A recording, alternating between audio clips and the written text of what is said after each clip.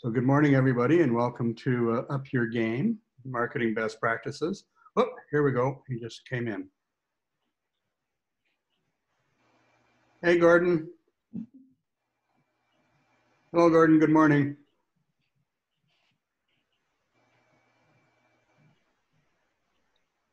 Anyway, um, I am going to uh, get started. Um, my name is Jeff Shields. Um, I've been in the uh, high-tech industry for, oh, I don't know, 40 years. I took my first computer programming course in 1966, and I've been a REMAX realtor uh, as, as part of that. And um, one of the big things in, in with REMAX was marketing and it was as a realtor that was what you had to uh, had to do everything if you wanted to succeed.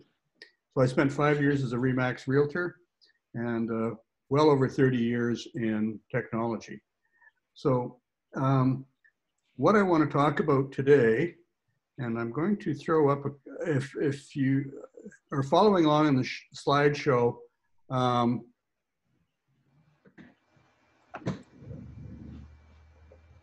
let me just get this up here.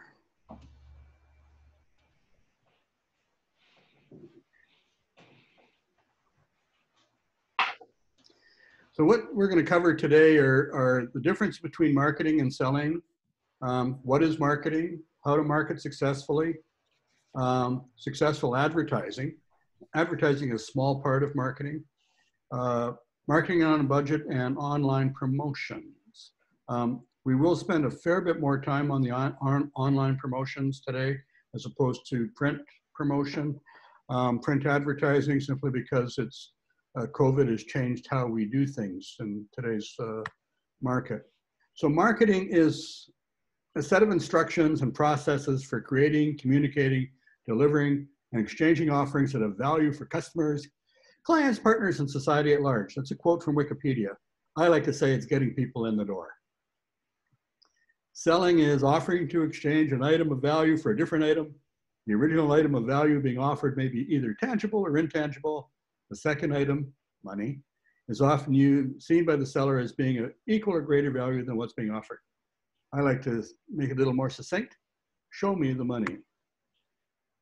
So marketing as a whole is a lot of different activities. So we have branding. You know, that that's your logo, your business cards, your color scheme, um, the fonts that you choose for stuff. That would involve all come under your branding. Um, it includes public relations and media interaction, so press releases, um, public relations. If you donate something to a, uh, a charity for a silent auction, or you do a giveaway at a trade show, any activity where you're interacting with a potential uh, customer is public relations. Media is your television, radio, print, um, that sort of thing. Advertising, well, we've got print and we got digital. Um, we have audio for radio and we have TV advertising. So those are the four basic forms of advertising. And in marketing, you want to try and, depending on what your product is, um, you want to be able to spread that out. So the three of you are all involved in the arts in one form or another. um, so TV advertising isn't going to be a big part. Radio advertising wouldn't be a big part unless maybe you've got a show going on and you might run a, if, uh, you know, if you're on a tour or something, there might be some radio advertising primarily your advertising is to be print and digital. And, and we will spend a little bit of time on that. We're going to talk about all the different forms of marketing today. Um, essentially, marketing is communications, how you communicate with your potential client base. Um, so you, you, want to be able to provide a consistent message. Um, your logo should be on everything. If you don't have a logo, it's really a good idea to create one. Um, something, and, and one of the things with logos in particular is to make sure that they're, um, they can be viewed in color and black and white. You don't, you can either have a couple of different versions, or if you just create, uh, convert your logo to black and white, it should be readable. Um, slogans and taglines. Um, Susan's tagline is, for instance, is from the prairies to the west coast and beyond. Um, a, lots of companies use taglines. Pepsi's tagline, one of them used to be um, for the Pepsi generation. Those sorts of things for memorable sayings that people people will remember. Um, branding also includes your vision or mission statement, where um, those, you know, for an artist, uh, um, a vision might be there. Uh, a mission statement, not so much necessarily. Um, that's really important for, for organizations that are, are geared towards uh, social interactions, so that sort of thing. Um, but your, your, your vision uh, in your artwork and that sort of thing, it can, can, will help keep you focused on your marketing. Um, with public relations and the media, you can, you know, promote events. If you're in an art show or you've got um, some sort of an event coming up or uh, that's an ideal opportunity to do a little bit of marketing, whether it's uh, through Facebook, just or through your website, um, through online publications, through print publications, that sort of thing. Even radio uh, would work for that. Here, here TV advertising isn't going to be big. Um, Regina, maybe Kathy, but uh, not so much uh, in the Central Island here. Um, announcements. Um, anything that is worth saying. If you've won an award, that's a great time to do an announcement. Whether you know whether it's a press release out to Island Arts Magazine or the local newspaper, or um, putting it up on Facebook or doing a, an email campaign announcements are a very good way to get the information out there. If you've been juried into a into an art show, um, that's another great announcement. If um, if you have a TV appearance coming up, that, that, warrants an announcement to get so that people will watch your your watch you on TV. Um, press releases.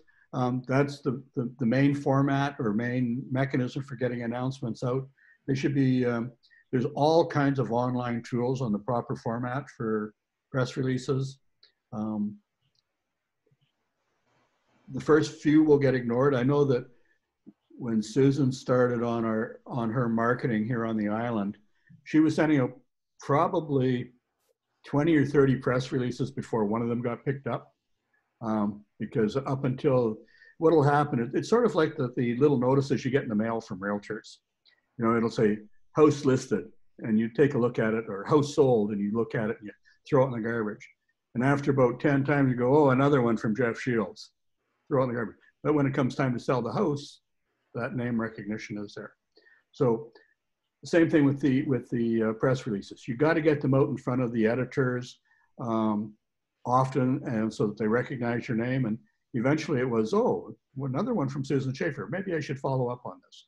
So those can become very powerful um, uh, ways to get out there. But you have to keep at it. You just have to keep sending them out and eventually they get picked up.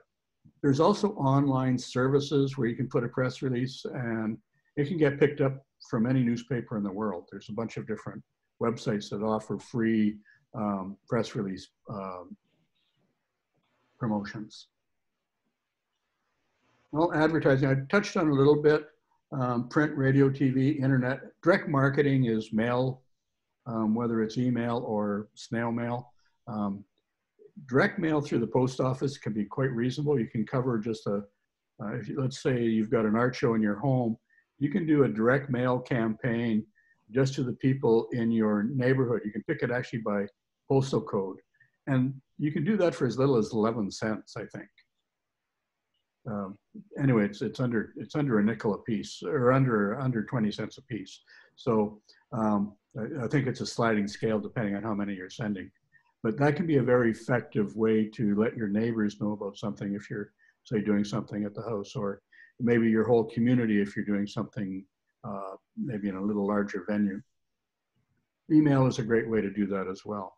Um, communications is business cards, website, email, social media, blogs, brochures, rack cards, merchandise. Susan produces a um, uh, an apron with Island Arts Magazine logo on it that she sells at the different workshops that she attends or hosts or teaches for that matter. So little things like that. So you'd see all, all of a sudden you walk into the old schoolhouse in Qualicum Beach and you see people wearing Island Arts Magazine apron.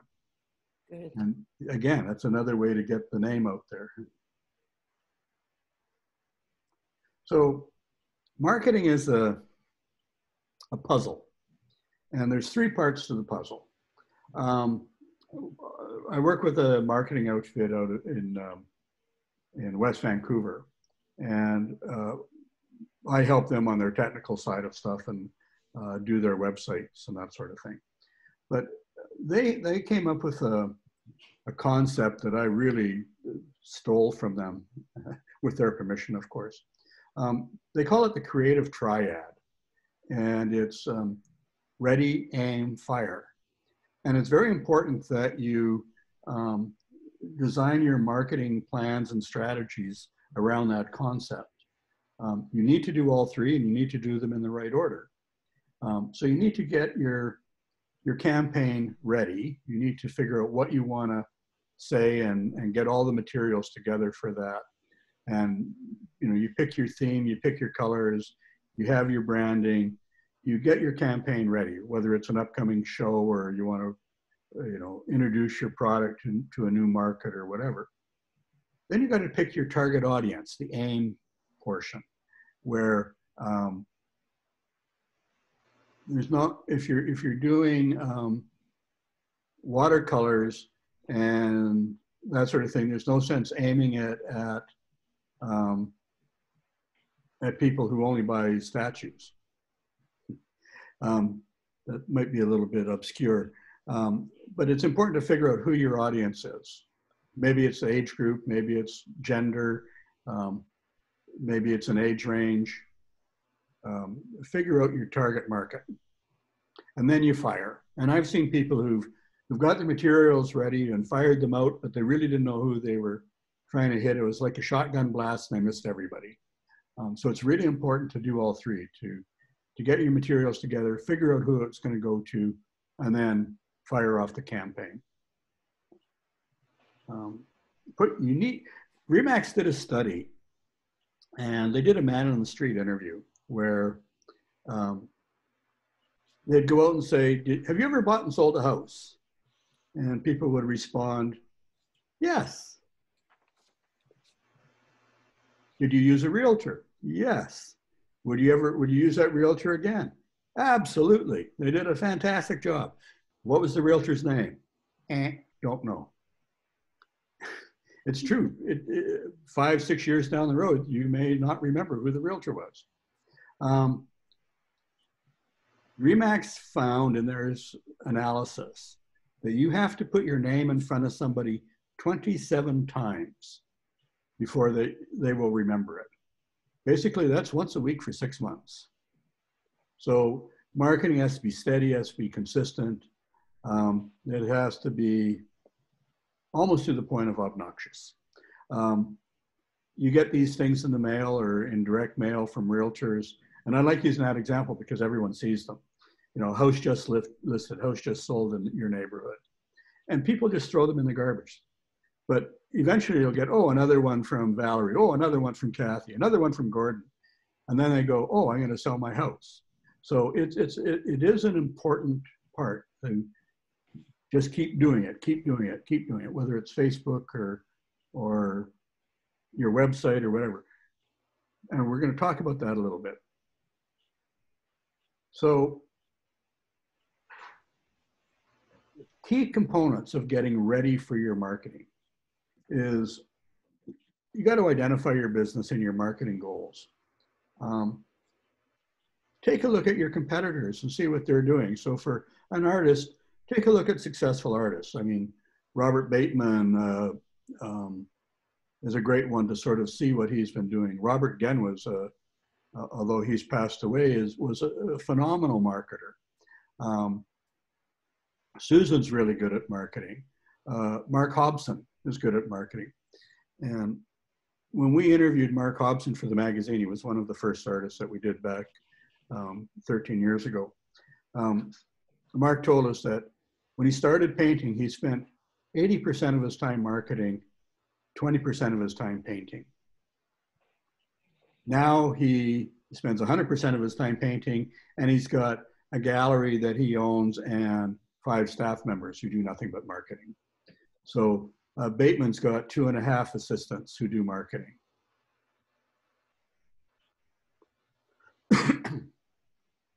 so it's, it's important to do a, an analysis of, of um, what your business is. Take a look at your strengths, take a look at your weaknesses, um, take a look at the opportunities that are out there for you, and what are the threats to your business. COVID is an enormous threat to the art community. Um, although in the last month, a lot of the artists have told us they've been selling hand over fist, which is remarkable. Susan sold four paintings in one day uh, two weeks ago. So uh, art is coming back. It's a, because it's a feel-good purchase. Nobody needs art, um, so it's always a feel-good. People are suffering right now from uh, COVID fatigue, and they need something to feel good. And buying art seems to be a really good thing to do. So um, that's an opportunity. While where COVID is a threat, uh, some people, have, because of their consistent marketing, have turned it into an opportunity. The aim component of marketing is define your needs. What do you what do you need to get done? What do you need to do about um, your marketing? Um, identify your key target market. So um, with Susan, her demographic is, is um, more or less middle income. Uh, people who can who have a disposable income of between five hundred and a thousand dollars a month. Um, you know, so and then she produces stuff on the smaller end for for lower income. So basically, she's targeting people in the um, fifty to hundred thousand dollar income range with her pricing scheme and the sizes of stuff that she does. Um, so that's identifying a target market. Other people like Mark Hobson, where his paintings are selling in the four to five thousand dollar range, he's targeting a very different demographic. Um, his prints are targeted to the uh, to that 50 to 70 50 to 100 thousand dollar range but his originals are aimed more at the quarter million plus range so who is your who who is your product going to appeal to? Who is your artwork going to appeal to? Who is whatever you're trying to sell? Who is it going to appeal to? And consider um, and consider that in your in your aim. Um, developing a marketing program. So every year, uh, Susan and I would go to Mexico in December for the last 15 years or so, um, although not this year. Um, we would spend our time in Mexico on the beach talking about our marketing plan for the next year. And then when we got home, you know, we'd make notes. We'd have our iPads or our phones with us, or I would have the computer with me. And we'd make notes about what we wanted to do over the next year in marketing. And we would have a calendar of what we were doing. So with the magazine, it's, it's the publishing schedule. Uh, with her artwork, it's the shows that she's doing. Um, Susan applies for shows up to three years in advance. Um, so it's important to be looking into the future.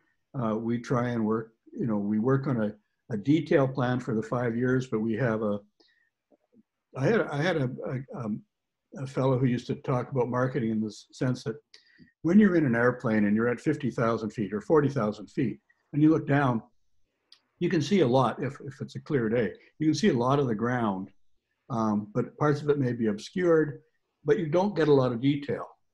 And as the plane is coming in for landing and you hit 20,000 feet, you can start to see shapes of cars or headlights on the road. You can start to make out uh, the rooftops of buildings and that sort of thing. As you get down to 10,000 feet, you got you can't see as much, but you can see more detail. You get to 5,000 feet, um, things really start to take shape as you can see individual trees instead of the forest. And as you're landing on the ground, you can see the runway and the, the grass on the side of the runway, but you can't even see the terminal often because it's often to the front. so in your marketing, you, when we start out, we like to have a five-year plan, which is sort of our 40,000 viewpoint. Um, then we look at our three-year plan, which is maybe the 20,000 viewpoint. And then the next year is our 5,000 foot or 1,000 foot. And then the month is more into the, uh, as we're landing, as we're touching down. So it's important to sort of look ahead and have a, have a goal. It, it's nothing is ever cast in stone uh, on these plans, but they give you a, a, a vision and a direction that you want to head to. And so having that overall view in your in your marketing program is very worthwhile. Jeff, can I ask a question? Absolutely. Okay, um, now you said, who is it going to appeal to? Like, um, I haven't had that many shows yet. Um, but one of the shows, my first show with the Aurora Guild here in Regina, Uh -huh. um, I sold three huge paintings. It was my first show with Aurora to SGI. That's yeah, Saskatchewan Government Insurance. Yeah, I lived in Saskatchewan. Yeah, so I don't really know um, who my artwork would appeal to unless like that's that's a good example, I guess. Like That's a corporation, yes. right? So um, obviously it appealed to a corporation. Yeah. so you can think of that as one of your target markets. Okay. Okay. Yeah. Um, so, and then if you think of what their client base is, everybody in Saskatchewan. Mm-hmm. So what, what, what were, what were the paintings of? Were they abstract or were they prairie landscapes or? Um, they were landscape abstract. Well, the one was of clouds. It was pastels. Yeah. Um, the other one was a collage. Um, and it was a, an odd size. It was of an abstract um, cactus. Yeah. And then the third one, what was the third one? I can't even remember. Well, corporations like abstract because it doesn't tie them down to anything, yeah. right? To any particular view. Um, it, were they, they were colorful, I would assume. Yes. Yeah. Yeah, Yeah. so um, corporations like that sort of artwork and they like the larger sizes because they have, um, often they'll have large spaces to cover. Oh, yeah. Oh, I remember the third one now. It was it was huge. It was the largest painting I've ever done. And it was white. It was all white, but it had some pale pastels coming out of it. Uh-huh. And that's I mean, it was something that well, I put my heart and soul into and I I loved it. And it took me a day to do it, and which is fine, you know, but it, I was just very excited because these were all three different new kinds of initiatives that I was working on. So, and they all sold. Yeah. Okay, well, congratulations on that. Now, Thank that you. would have been an ideal opportunity for an announcement Yeah, I suppose, eh? Yeah. Yeah. and something to put on social media. So if Yeah. you follow Susan on social media, anytime something is sold, she's she says, "Congratulations to the new owners. It's found its this painting has found its forever home. If you're interested in something similar, take a look at my website." Yeah. Okay. So lots of ways to leverage that. Um, but yeah, you know, so if you start aim at corporate markets, that's a really good place because they will overspend. It was good sale. So moving on, our, our third component of the triad, our ready, uh, aim, is fire. And that's your, your, the execution of your plan. That's where you want to um, make it happen. So, and, and here you want to have integrated campaigns. So if you're doing some, um, if you're doing an email campaign where you're emailing out your client base or people who follow you. Um, if you're using something like MailChimp or Constant Contact, um, and there's a number of other applications that allow you to do that, um, they will integrate with Facebook and Twitter and Pinterest and um, that sort of thing. So um, you create a campaign and then you can push it out to these other social media sites just with the press of a button. And so having integrated campaigns, if you also happen to run a, a print campaign, it should be consistent with the online marketing campaign. So it should all be integrated, the same message out there. So when Susan does an art show here at the house, um, it may be set up in the backyard, it may be set up in the garage, it may be in, by invitation, which we usually do around Christmas time, where it's in the living room. Um, if it's if it's by invitation, then then there's no marketing other than the invites. If it's um, in the backyard or in the garage where it's open to the general public, she runs an ad in the newspaper. Uh, she's pushing it on Facebook. She's doing email blasts. She's mailing out personal invitations, um, and it's all integrated. It's all the same message. So it's a very um, powerful way to get people in. And she, I don't know of an instant off top of my head where she hasn't sold something. Um, some years she sells a lot more than others, but that's usually because of the market, not her work.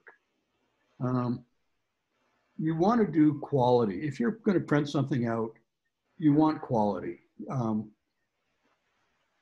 so we, we, we see some stuff that come that people send us, um, and the quality is very, very poor. And we went to an art show on Denman Island, and people had basically handwritten their email address on a one inch by three inch piece of paper, and we're handing those out as if that would um, make it back out the front door.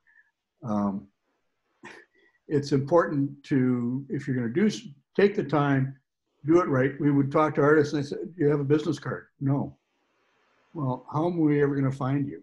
And they said, Oh, my art speaks for itself. People will beat a path to my door. Well, not if they don't know where your door is. So um, it's important to, um, if you're going to do any print production, that it's high quality. Vistaprints is cheap and it does really good quality. Just make sure you get the best paper you know, spend a few extra dollars. Don't try and chintz on, on print stuff. And make sure that you do your campaigns on time and on budget. Um, it's no point sending out a press release announcing your art show the day after it's happened. Um, with press releases and that sort of thing, a month before your event. Advertising, schedule that a month before your event.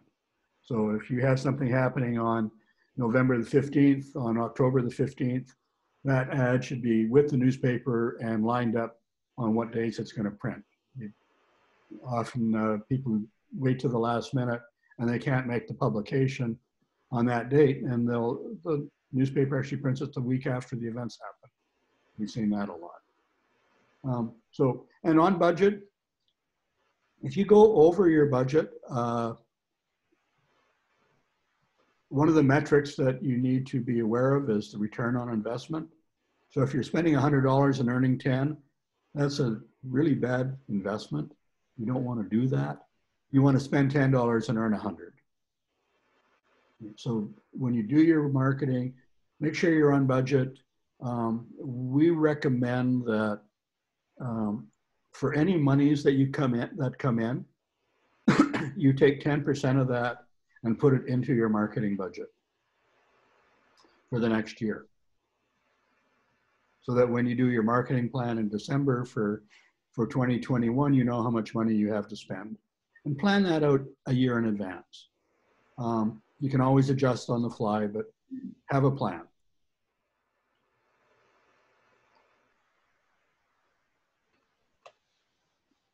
So that's sort of the concepts around marketing. Now we're going to spend a little bit of time um, getting into the nitty gritty of, of some of this. And advertising is one of the main components of marketing, if not the main component. Um, uh, when people talk about marketing, often they're simply referring to their advertising, where marketing is is the overview and advertising is just one of um, half a dozen components. So when you're creating your ad copy, um, we look at the five W's who, what, where, what, and when. So, who and what? Hi, how how are you? Good, I'm just you in a okay? meeting. I'm just in a meeting. Oh, Good idea. Thank you. Sorry, Jeff. No problem.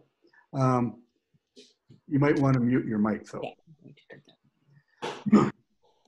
Um, who and what? Um, your logo and your business name. Who you are, what you are. Um, if your business logo name doesn't contain what you do, make sure to clarify that in the ad. So, um, just putting up Susan Schaefer and her her phone number, or address, or email. Someone picks that up, picks that card up somewhere, puts it in their pocket, they throw it in the drawer. Six months later, they pull it out and they go, Who the hell is this? What does she do? So Susan Schaefer, fine artist,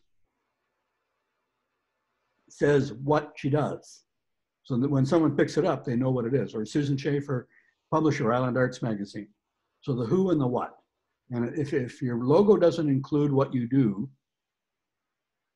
then you, the copy of your ad, um, the text in your ad needs to, to clarify that.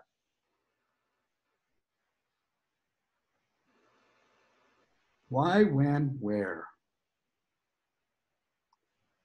Well, every ad needs a call to action. So, um, call to actions, are just like, call us at, or um, email us at, or whatever. So something, and email us now, call now. You see these on all the um, TV commercials when they're pushing all these products out. Call today in the next 20 minutes, get, get two for the price of one. Those are call to actions. And every ad, every promotion, everything that you do needs a call to action. So that, that if, if you don't have a call to action, people aren't going to, to, uh, to do anything. Tell people why they should contact you. And tell them what you can do for them. and I'll get into it. I think I got a screenshot coming up that I'll share in a minute. Um, additional information that you want to include is what your business does, how you intend to help your potential customer, and save money. Call me now, save money. Um, that's one of the call to actions that my accountant has. Make sure they can read it quickly and easily. Point form is the best. and some good supporting elements, good photographs, good graphics. Those are always helpful. Um, as an artist, your artwork.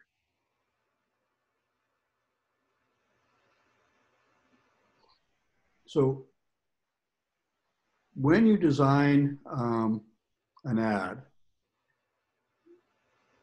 I think I, am gonna, let me, give me a half a second here. I, I wasn't thinking about this at the time, but um,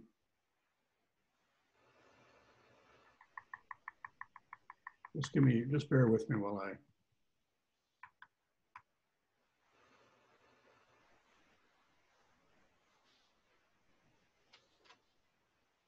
Okay, I'll, I'll look for that in a minute. Um, sorry. Um, I have a, I have a sample of an ad that one of our clients did, which is a, a phenomenal example of, of a, a clear cut ad with call to actions that was just great. And I think it's in my advertising uh, workshop um, presentation.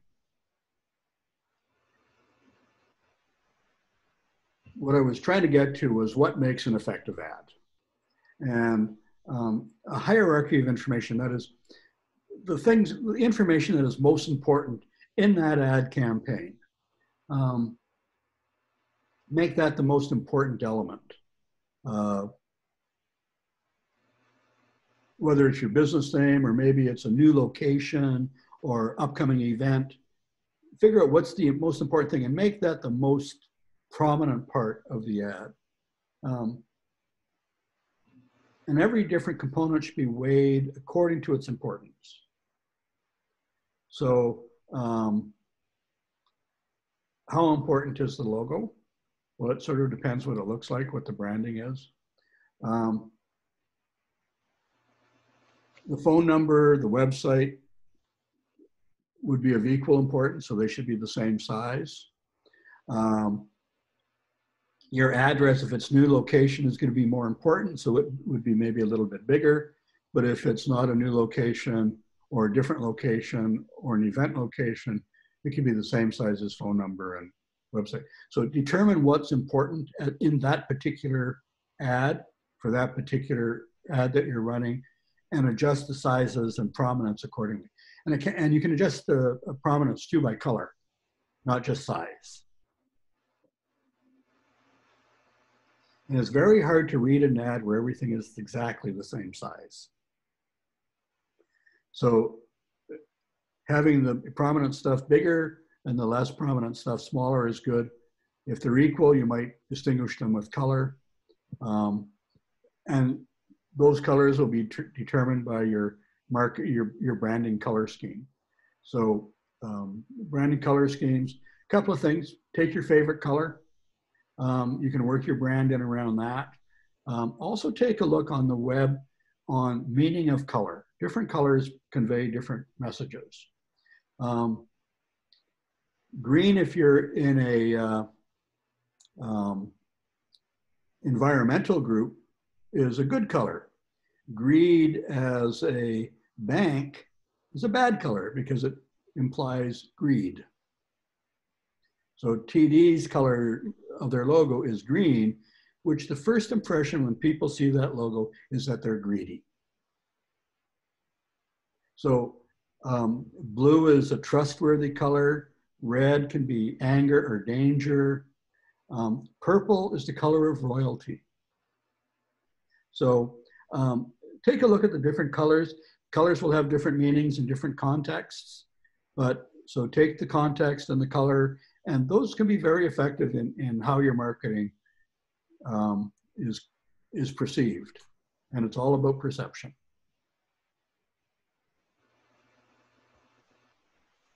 Less is more. We always hear that. Um, keep it simple. Um, and I do the KISS principle with one S um, because if you do, you're not. Um, keep it simple. Get your message across um, to the viewer in the most succinct way that you can. Um, use your space wisely. Don't crowd things. White space is good. Use contrasting colors uh, for fonts and backgrounds. Make sure your copy is readable. Um, best combo is dark type on a light background because it's easy to read. Uh, yellow on green, yellow on blue, green on blue, green on yellow. They don't work. Colorblind people will have a lot of trouble with that. Um, in in uh, in website work, we actually have tools that measure contrast ratios uh, that may determine whether, and it'll look at the size of text, the color of the text, and the color of the background. And from that, it determines a contrast ratio. And for a contrast ratio to be readable, it has to be 4.5 or higher. If it's, and it's a mathematical algorithm. And if it's under the 4.5, people will have trouble reading it.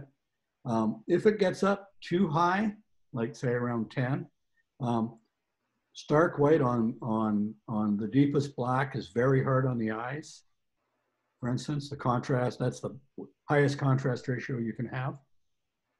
Stark white on, on deepest black. Um, so if you go to a off-white on a, on a dark gray, it's easier on the eyes and you still can keep that contrast ratio. So things like that in terms of uh, using contrasting colors. Excuse me.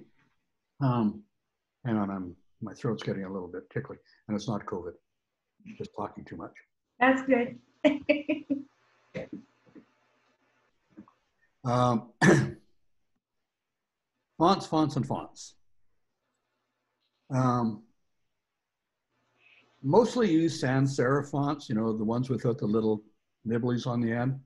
Um, and use different font sizes and maybe different kinds of sans serif fonts. They're easier to read on screen. Um, uh, serif fonts are really good if you if you've got a book, not so good if in an ad. They're, they're easier to read if you have a lot of text. Uh, sans serif fonts are easier to read uh, without that. Um, don't use too many font types or too many font colors. Um, no more than two font types, no more than three colors in your fonts. I, I, I prefer a monochromatic color scheme on the fonts um, unless there is something I really need to get across. I prefer two at the maximum.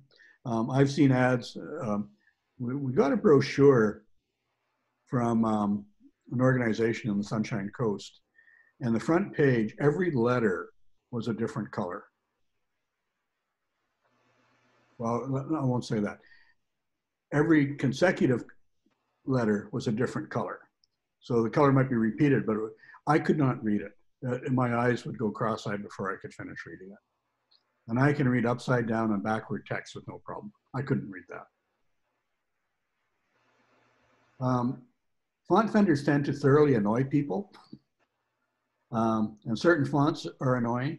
Um, Comic Sans, for instance, Curlz and Papyrus are, people consider them cutesy fonts. They're, they're really annoying. Um, so uh, it, it, you may think it, it's going to do something for your ad. If annoying people is what you want to accomplish, that would be a good choice. Proof your ads. We get so many ads with spelling mistakes, missing number in their phone number, um, the wrong address. Oh, I changed my address. I forgot to update my ad. They didn't proof it before they sent it out. Um, incorrect information is, is, you know, the wrong phone numbers. Um, we got, we had, we, we had an ad that we were running in the magazine. Uh, Susan was sharing it on social media. It was for um, an executive position or at, at, a, at an art gallery. Susan was sharing it all over the place on, on Facebook. It had the wrong phone number. Finally, the person phoned Susan and said, please stop sharing this. It's got the wrong phone number. The person who was getting the calls had nothing to do with the art gallery. And that only happened last week. Um, missing information, you know, make sure your phone number is there, make sure your contact information there. No point saying who you are if they don't know how to get a hold of you. It sort of misses the whole point. And make sure it works in color and black and white. We've seen people create color ads, run it in the newspaper, the newspaper prints it black and white, and it's just a black blob. So those are the key points of your of, of, of advertising to keep in mind. Um, there's more than that, and we actually have a separate advertising um, uh, workshop that we've done, um, which is about two hours, but um, we didn't schedule it this time around. We may resurrect that shortly. Um, if anybody's interested, I think we have the slideshow for the advertising workshop up online. I'll make that available because it it interlocks with this and you guys should have that material. So I'll, I'll send it to you after. Um, Do you have a list of the free ways of marketing? yes, we'll be getting to that shortly. Uh, because what we're going to be talking about is budget next. Yeah. Excuse me just for a second. I just wanted to say, talking about phone numbers, here's an invoice I have and there's no phone number on it. You call to pay it. It's Island Gutter. Yeah, so Susan was just overheard me and uh, she had an invoice from uh, someone that we did business with and the invoice wants us to pay by credit card over the phone, but there's no phone number on the invoice. So Um, she'll have to go look it up, but that's even even the invoices need to have all your contact information. Anyway, how to market on a budget. Well, there are lots of free and inexpensive ways. Um, host an event or a class. Um, so if you host an event or a class, you can that and, and get people out. You know, you might, um, you know, if you've got if you've got something uh, or that would appeal to kids, um, that is a phenomenal way to get kids come in. Do it free. Do it for an hour or two hours uh, in a venue. A little tough to do right now, um, but getting the kids in brings the parents in. You know, so those that that's an inexpensive way to do something. If you're um, farmers markets are very inexpensive ways to to get your word word out there too. Um, and most of the farmers markets around have have got COVID protocols in place. And we have a friend who lives two blocks away. She does farmers market every Saturday. The farmers market runs 11 months of the year here in here in the area. Um, you know, nice thing about the island as opposed to Regina is that we can do these things 11 months. Um, so she's at every one. Um, she supports her family, she and her husband and two boys, um, just by doing farmers markets. And she sells prints hand over fist. Business card draws, you know, so if you're at an event or uh, if you've got uh, artwork hi- hanging someplace, um, Susan's got artwork hanging at a, an investment broker here in, in Parksville. Um, you could do a business card draw where you throw your business card in there and there's a giveaway. It might be an apron. It might be um, a, free class. Um, those types of, any type of giveaway that's inexpensive uh, where you can accumulate a mailing list or a contact list um, is very, very powerful. Email marketing is can be free. Uh, MailChimp um, is the one that we use. Um, with MailChimp, you can have up to 2,000 people in your mailing list, and you can send 10,000 emails a month. So if you had 2,000 people in your, in that, you could send five emails a month. Um, and we'll we'll talk about that. Mark marketing is sort of a round robin affair, and social media is people who follow you. Your website is when people are looking for you or have found you through another mechanism and go to get more information about you. Email marketing is where you're going to them. Um, you're in you end up in their mailbox, and um, it's a great way to to promote the other component. So uh, email marketing is can be free unless you've got a big mail list, and then it's it's only 30 cents a person over that or something like that. Car magnets. Um, it doesn't they don't cost much to produce. Uh, you go to your local sign maker, they produce the uh, something on a magnetic material. You can slap it on your car door for when you're driving around town. Great marketing. Uh, slap, put it on. QR codes are good to have on those. Uh, they're those little fancy little rectangles that have a lot of dots on them, but people can shoot them with their camera on their phone and it goes directly to the website or brings up your contact information or whatever else you have there. Um,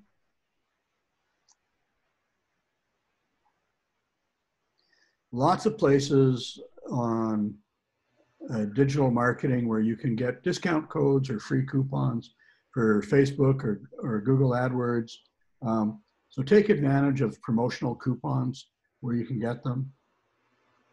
A lot of web hosting companies offer uh, credits for Google ads or Facebook ads.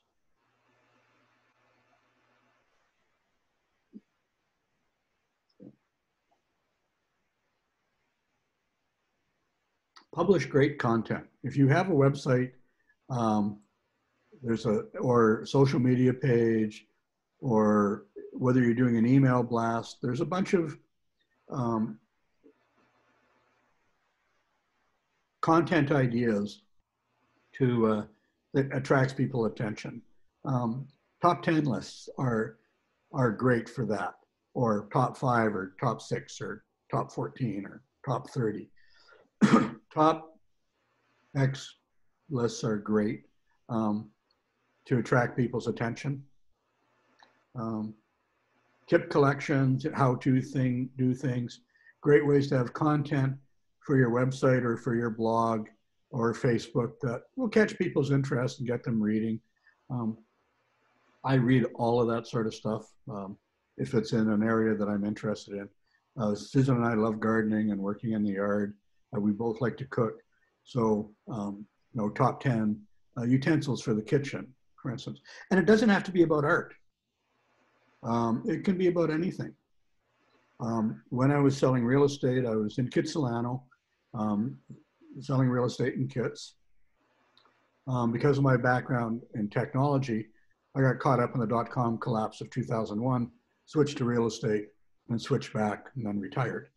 Um, but, but when the real estate market collapsed in 2008, I switched back to technology.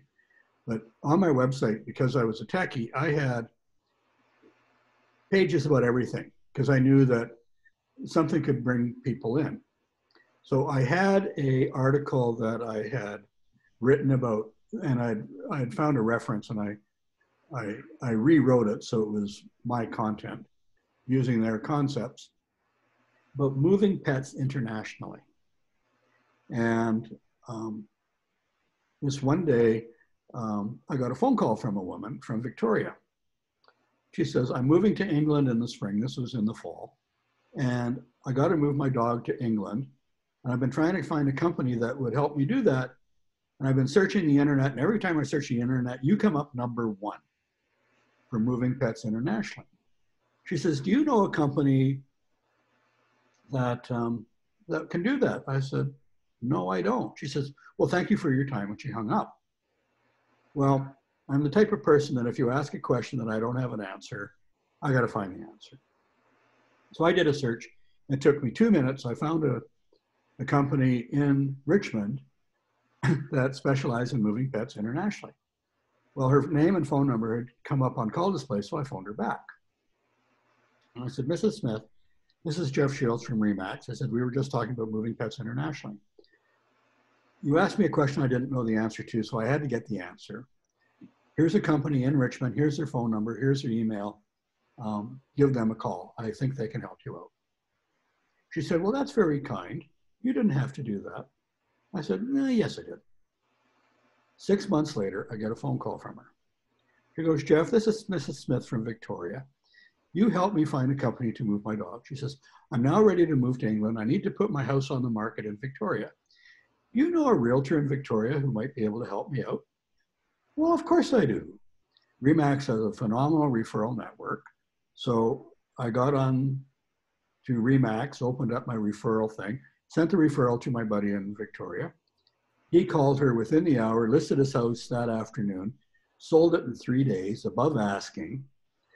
House closed four weeks later. I got a check in the mail as my referral fee for $3,500.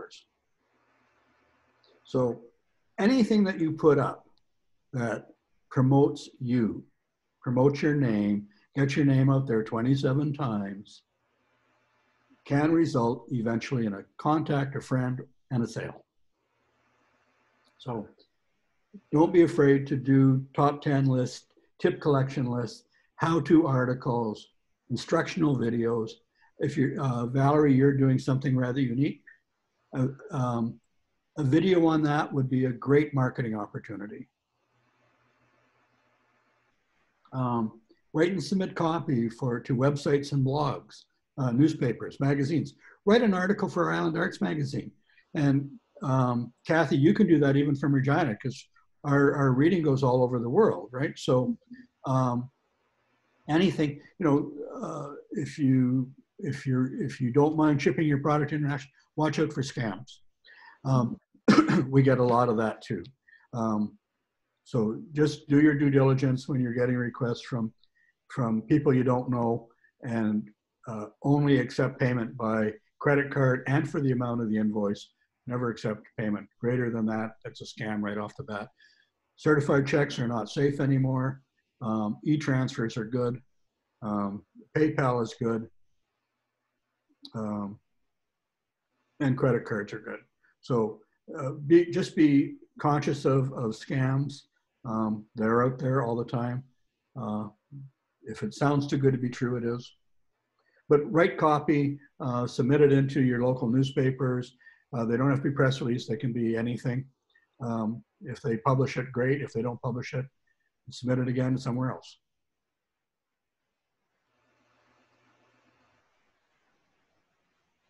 Another free way to get to do your marketing is social media. Facebook, Twitter, LinkedIn, um, Pinterest, all of those are, are good choices. There's something like 350 social media sites out there. Uh, Reddit is another one. Um, those are all great places where you can post regularly. Um, again, it doesn't have to be germane. If you have a Facebook page, create a business page, um, and the two of them go hand in hand. We have two business pages, one for Island Arts Magazine, one for Susan Schaefer Fine Art. Um, both Susan and I can administer both of those fan pages, and then we have our personal pages. And there's a whole technique around um, utili utilizing those to, uh, to effect. So website, social media, email campaigns, and print media is a revolving um, one feeding the other. Post regularly. Now, regularly will be different for different people. Um, Susan tries to post something uh, once or twice a day. Um, some people like to post once a month. Um, once a month is regular. Uh, once, you know, so whatever your inclination is, that's what you want to go with. Don't force it. Do what you feel comfortable with. Just be consistent.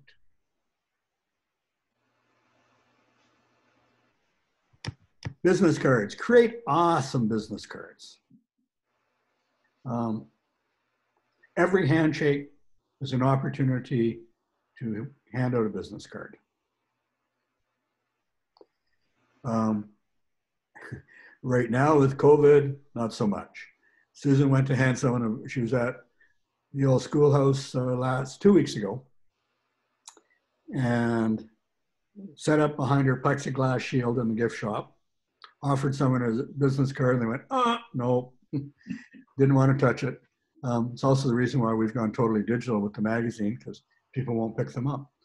Um, but as COVID um, goes down uh, and we're back into social contact, business cards are um, are great. Um, Susan also produces uh, bookmarks for herself, and she'll give people a business card, and then um, you need a bookmark, and they go, "Oh yeah, I got four or five books going at a time." She'll give them four or five bookmarks, and again, they're they're just enlarged versions of her uh, of her business card. So, um, and those that's a giveaway. That's a promotional giveaway. Um, Um, Jeff, it's Kathy. Is there an electronic way of doing the business card draw that you're aware of? Like, you know, Uh, yeah, actually. Um, and actually, that's a really good idea. Um, on your website, you can, you get people. So this is where, um, and on, on your social media. Um, if you're going to use something like MailChimp or Constant Contact, um, you want people to be able to sign up for your emails. So what you do is you sign up for my email and enter into my monthly draw for whatever it is, okay. right? So that way you're accumulating email addresses for your for your email campaigns. Mhm. So, and that's exactly what that's for. And so that's the electronic version of the business card in a jar. Okay. Jeff, another method that I tried not recently, but when you're setting up your business cards with Vistaprint, they give you an electronic version to share. Oh, I Oh. haven't used it recently, so I'll take a peek at it, but it's quite a unique, and then you just share it via whatever method you want to. And if you have a, if you have a JPEG or a PNG version of it, add that to the signature on all your emails. Good idea. And your signature, when you have contact with somebody, should have all your contact information. If you notice in the emails I sent you, my signature had my name, my address, my phone number, my website. Right? I don't use any graphics because a lot of people block incoming graphics by default. So you want a text version as well as a- an image version. And always carry business cards with you. Um, that'll become more important as COVID goes away.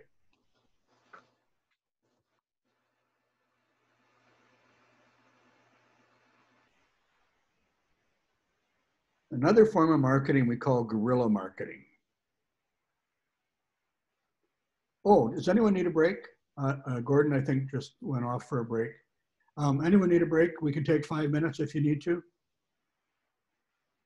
Yeah. Yeah? Yeah, five sounds good. Yeah. Okay, we'll re- reconvene in five minutes at seven after 11. Okay.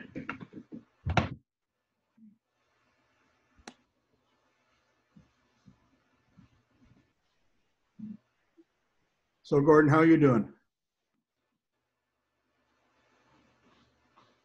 You can unmute your mic, I think.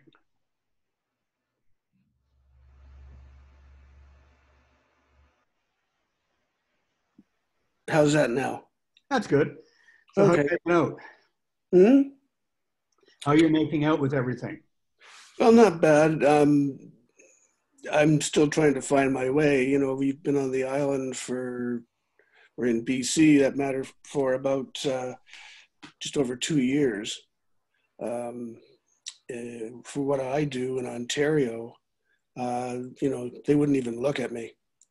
And I mean, I was marketing my brains out. Once I come out here, all of a sudden it's completely different. Um, so, uh, uh, it's just finding my way and i'm retired recently so you know i have to do things on a budget and just trying to find galleries and places and things you know i just finished something at the McMillan and of course the uh, we, we were at the opening. We met at the opening. oh yeah Yeah.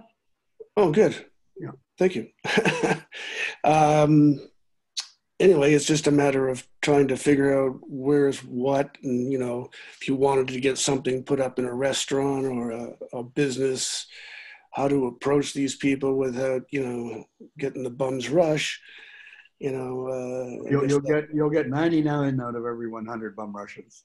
yeah now when you uh, most of my marketing what i did was i went and found all the galleries in let's say vancouver island that would have my kind of stuff and i would just sort of email them and say you know here's my website you know i'm looking for a place to hang a painting or two um, and i don't know whether that would be perceived as like annoying junk mail or if that's just uh, what you have to do to get things done Okay, oh, Su- here's Susan's method.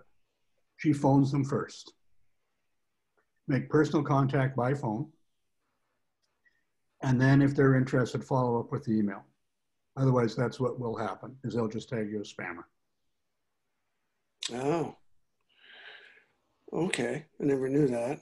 Um, how do you approach that? Just say I'm an artist. Uh, you know, if they can't see your stuff. Phone ask, phone ask either for the curator or the manager or the owner of the gallery, depending on whether it's a commercial or a nonprofit, and speak to them about um, if they're taking new artists and uh, ask them what their practice is for um, getting the work. They might want you to send them a selection of paintings by email or something like that, as opposed to getting them to visit the website, be a little proactive and send them images. But talk to them first so they know to expect it. Okay. And you'll find that your your bum rush on the phone isn't quite as tough, and you you won't get tagged as a spammer because if they say spam, doesn't matter how many emails you send after that, they're never going to even see them. Ah, okay. Yeah. I know I've got an ad going out in the uh, the Island magazine there uh, this next issue. Yeah. So I'm hoping that'll get something going. Uh, And I think a lot of the galleries are going content too, aren't you? pardon me? You're doing uh, some editorial content as well, I think. Susan, that you're going to run an ad and she was going to run a press release or something for you. Oh, okay. Um, I might have misunderstood that. I know it was a bio ad, and I thought it was just like an ad with a little Oh, bit that's about fine. Yeah, Okay. And so I'm, I don't know. Um, if I'm missing something, let me know. Well, like I said, send press releases about anything you're doing. So if you get a show in a gallery or you got a gallery who's going to show your work, that's a press release opportunity. Mm-hmm. Okay. Well, that sounds good. We're learning as we go, I guess. Yeah, well, that, that's how it is. I mean, trial and error, that's the whole way. And we're happy to share our trials and our errors. So, I've made one or two of those. yeah, well, we've made about 10,000. Yeah, I know. I can imagine. Yeah, Yeah, it's, it's, it's always, uh, it's always that. Okay. So we have everybody back. Um, So Gord, where are you from Uh, originally, or right now, right now? Qualicum Beach, Oh, okay. And how about originally? uh, Hamilton, Ontario. Ah, well, welcome. Thank you. It's great to be here. if you're trying to market landscape painting in Ontario, can you have a better chance of being prime minister? I mean, you know, it's a pretty rough go there, but uh, it's so nice to be out here. As soon as I came out here, everything changed. Oh, that's good. Very good. What kind of landscapes then? Um, well, I was told to do things that were more local. So what I do is I just approach things rather than looking for, you know, there's the beautiful scene right there. Um, and I was trained as a commercial artist. Uh, so I just look for the way you think light would hit an object, like um, an old stump or something. And I can find beauty in that. And then through my painting style, I can you know, sort of take it to sort of a little bit more of an abstract looking impressionistic thing or, or whatever. So what I'm going to suggest is, um, I will, if you guys approve, I will make sure that you have each other's emails and that we take that conversation offline. Got it. Okay? Because I want to move on. Uh, we've got about a, a, an hour left, so we still have a fair bit of material to cover. so, what I want to get into next is guerrilla marketing. Um, this is creativity over budget. Um, strategies that are cheap and easy to implement. Um, these include uh, balloon giveaways at local events, joining in on local contests. Um, if you win a contest, you get publicity out of it. Um, develop a customer referral program um, and reward the referrer. So if if someone walks into um, our house, we have a, a in our dining room. That's our personal collection. The rest of the house is all Susan's artwork, but the dining room is our personal collection. And when we have guests and that sort of thing, and they're interested in particular artists, you know, we say, well, that's David Langevin or Mike Swab or uh, Janice Bridgman or or whoever it may be, and oh, and the, we have a port, uh, an oil painting portrait of our previous dog, which was Karen Martin Sampson, and she does portraits, uh, whether they're pet or human. And oh, I need a portrait of my dog, and they want a referral, so we will refer them to to Karen. But there's nothing wrong with um, having a referral program where you, um, if you end up selling a ten thousand dollar painting, for instance, sending a $50 gift card to the person who sent that over to you would be a nice thing to do. So, um, and they can be, you know, if, if um, you know, keep it in proportion to what the referral turns out to be worth, and only after there's a sale. You know, so um, Susan has a bunch of art calendars. and aprons that she can hand out as as uh, as rewards.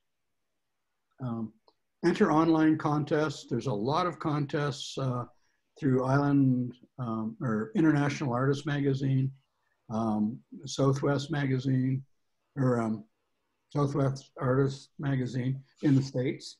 Um, huge publications have contests every month.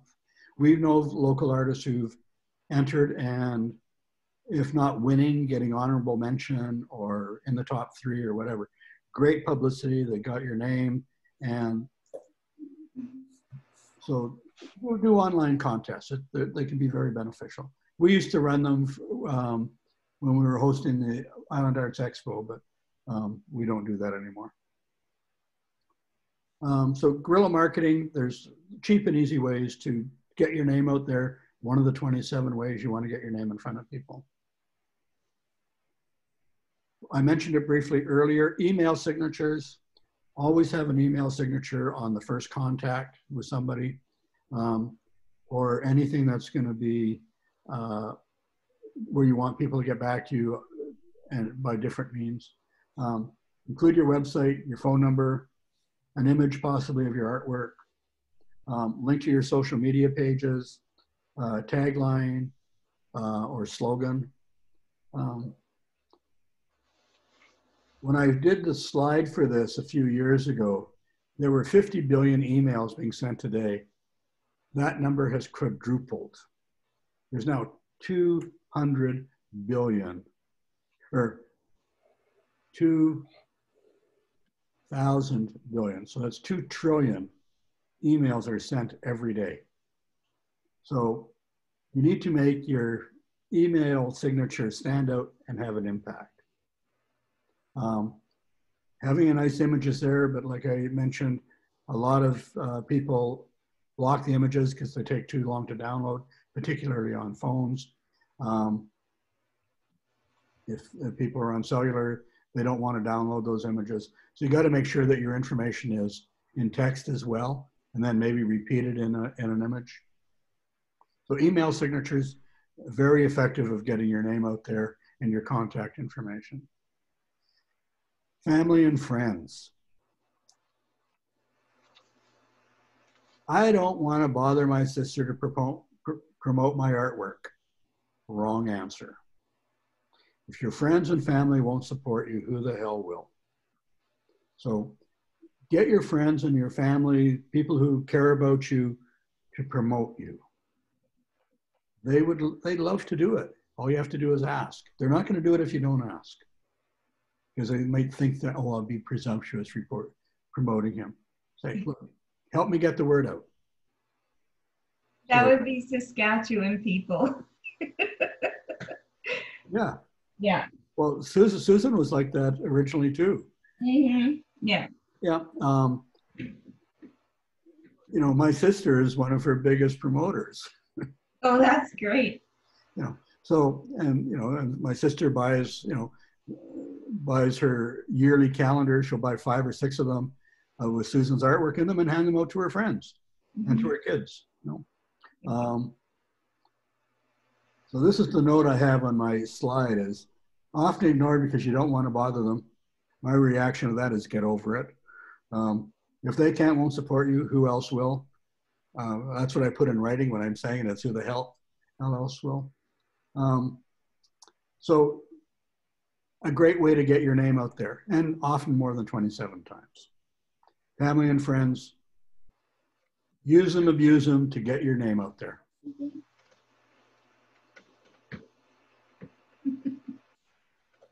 Online promotion. Website, email, blogs, social media. They're all different mechanisms. So websites are pretty much static content. We have a cat. Come here, Pepper. Oh, oh. It's a cat and not a dog. Um, anyway, website is pretty much static content. Um, it doesn't get updated all the time, although in my web, on our website course next week, um, I talk about having to keep your content fresh. Um, on your website, you want to link to your MailChimp forms or your email platform forms. Um, you want follow me on Facebook or other social media pages. And if you're up to it, a blog. Um, blogs be consistent, whether that's once a week, twice a week, every three days, um, once a month, um, twice a month, um, as often as you can and as you're inclined. Once every six months, not quite enough. Um, email campaigns, incredibly powerful. Um, so if you put something in your, if you've completed a piece and you put it up on your website, when you do your MailChimp campaign, Susan does her hot off the palette on the first of every month and any new pieces that she's created. Uh, she'll say what's new, and then she goes what's sold, and then upcoming events, um, all of that so that um, uh, you you can do the uh, the Mailchimp campaigns. It's going sent out to people, where people have to visit your website. This is a way to do both to get them to your website. Um, which brings us into a technical discussion on the CANTI anti-spam law. Um, make sure you comply. Uh, a lot of my clients don't want to deal with that, so um, I will do their email campaigns for them and administer that. We'll set, set up a form on their website. Um, I do the email campaigns on their behalf. I do that for about 20 clients. Um, I charge a flat rate for each email campaign that gets sent out. Um, but if you don't apply, if you take, if you just copy a whole bunch of emails into your um, into your email program and send it to 50 people, um, where you don't have their permission, um, and it's a commercial uh, type email where you're soliciting a gallery, that's a violation of the Canada anti-spam law. For an individual, the fines can be a million dollars. For a business, that can be $10 million and up to five years in jail. Um, so you want to make sure that you abide by that. Um, that's all I'm going to say about that. Um, if you have an event, make sure you have a paper sign up form at events. Make sure that they're dated and the name of the event that they're at and collect me email addresses and have a disclaimer on there that providing your email allows me, provides explicit permission for me to contact you via email. And that's the way you avoid any penalties under the Canada Anti-Spam Law.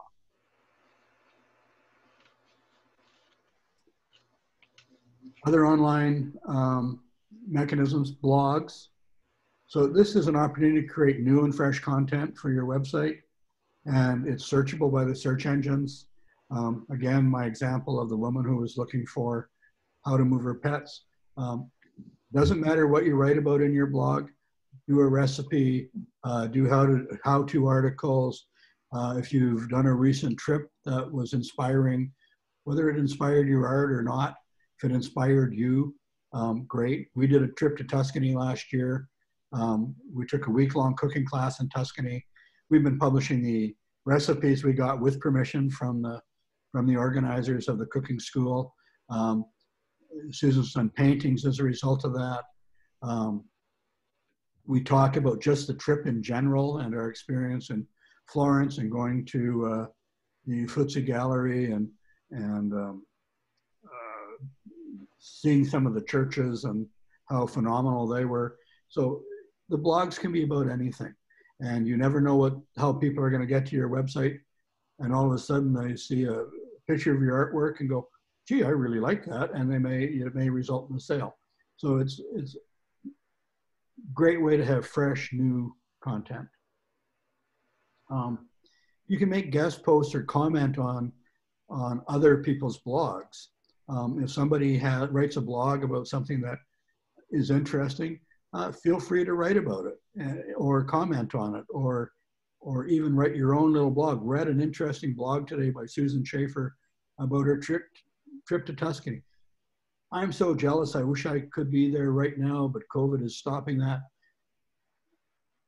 And provide a link to the other blog. So it's a way, you know, it can be that simple or not. Um, Do you need permission? Sorry, Jeff, do, do you need permission to use someone else's blog? Not if you, you can, you, under copyright law, there's what's called fair use. You do not per- need permission to link to anybody. The nature of the web is that links are there. People know if they find content that they like, people can link to it. What is not appropriate is copying their content and using it on yours. Your own. you can use um, what's called um, uh, fair use. So you might take the opening paragraph or a paragraph that is of interest to you. Um, the guy by the name of Chris Coyier, who does has a, a that I follow all the time. His website is C, CS Tricks, and it's a technical website for us techies. That, um, and what he'll do is he'll take a paragraph and he'll quote it, and then he'll he'll say, "I was reading uh, Jeff Shields' blog on blah blah blah blah. Um, this is what Jeff had to say," and he'll quote a paragraph, maybe even two,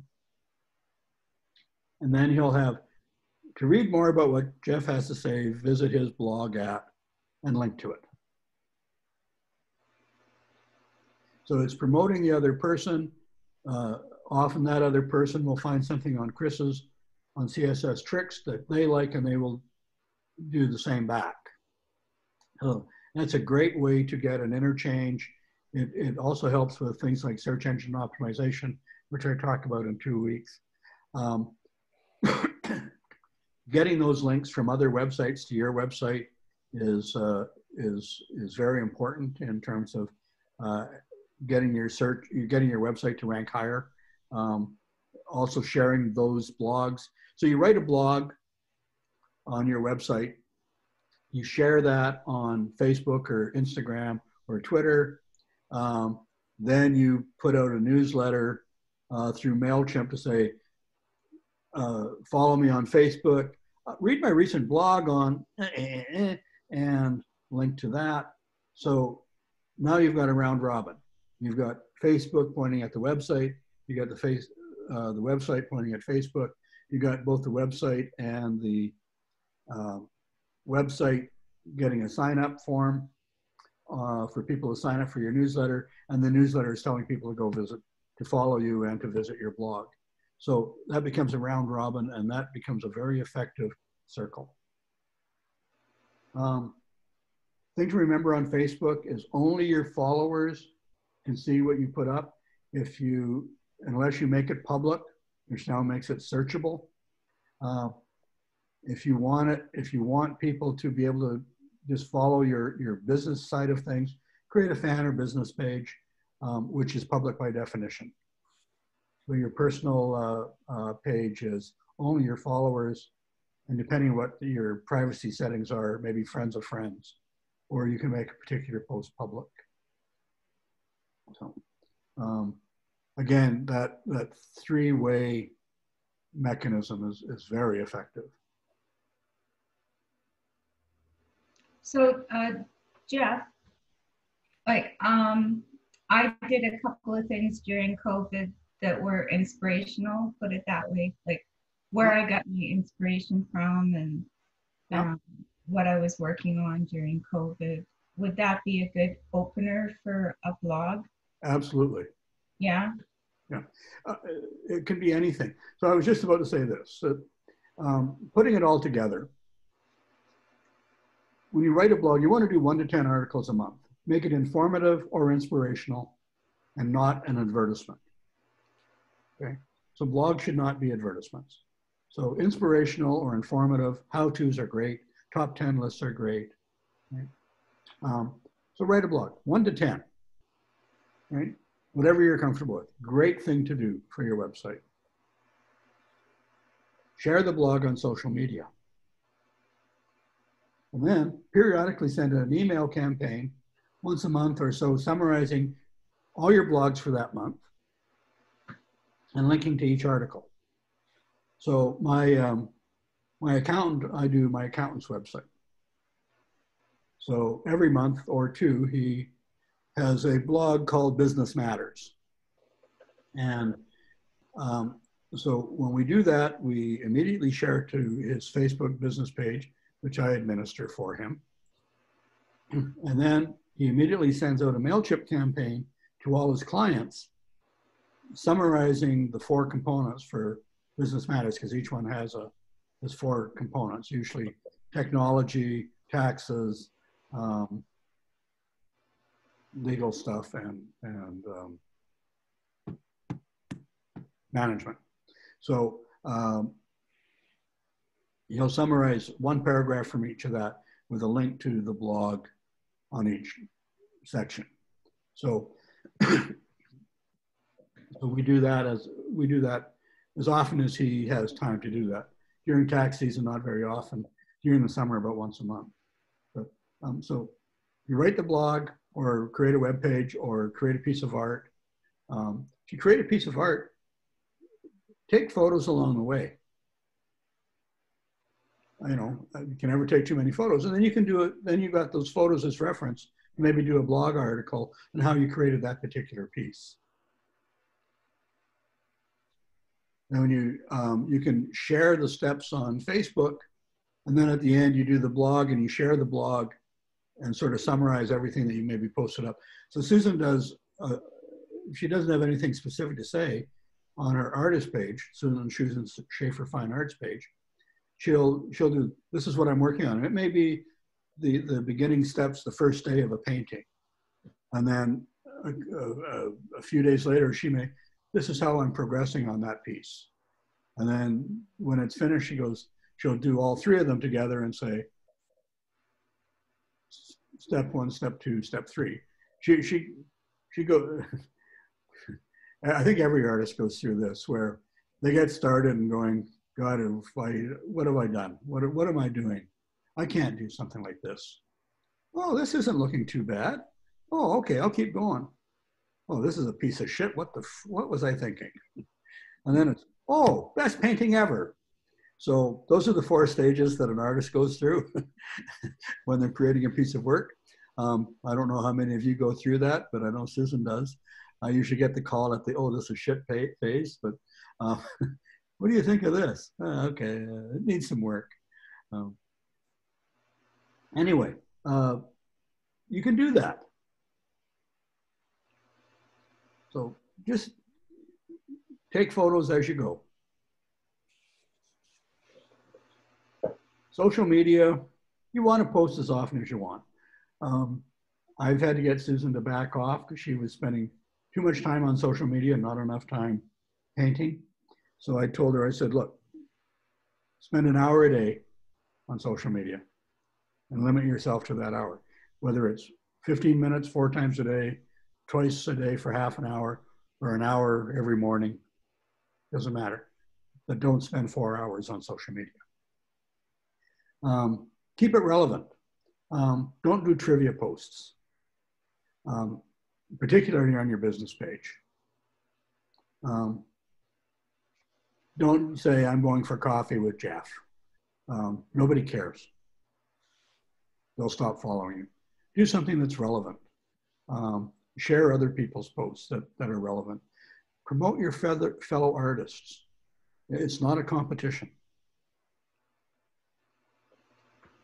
Um, have it have if you don't have a business page in Facebook, create one.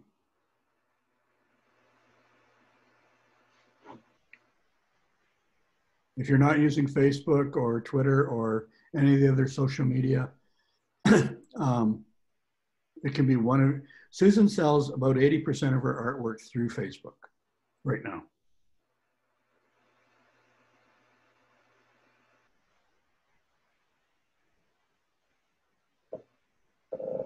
So email campaigns, um, remind people about events as needed.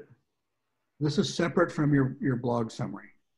So you can send out more than one email. just don't gang them up at like one after the other. You know, space them a day or two apart. Um, so if you have an event, you want to send out an email blast to all your people one month before so that they can put it on their calendar. And then you send a reminder um, a week before. And then you might say, see you tomorrow the day before. So MailChimp allows you to have 2,000 subscribers and up to 10,000 emails a month. So if you've only got 500 subscribers, you can send 20 emails to them. If you got 2,000 subscribers, you can only send five emails a month. After that, you've got to pay. Jeff, question. Yeah, answer. Do you do any coaching on the MailChimp um, process? Yeah, we've we've run courses, but I will. Uh, they're they're a day long. Uh, really need to be um, on a computer on Mailchimp. Um, the thing with Mailchimp is that changes. They change their interface um, about every three months, so um, it's it's hard to have something that's can't, But they do produce an enormous number of excellent online videos themselves. And that is my resource to learn new stuff. So I used them, just search for online or just search for MailChimp video tutorials. Oh, okay. And you'll find lots of them. And they'll be on the MailChimp website. They're updated fairly often. Um, and that that's really the best mechanism because I find it takes me so long to create the email, we've almost missed the event. Like Okay. it takes me. So what a lot of my clients do, and I charge thirty-two dollars and fifty cents per email campaign. They email me the material, um, usually a couple of days before they want it to go out. One because uh, to fit so that I can schedule it into my queue, and then I take care of sending it out. What I do is I create it, I send you a proof, um, make any corrections, and then I send it out on your behalf. Okay. Now, the nice thing too is if you got an event, emails can be scheduled up to a month in advance.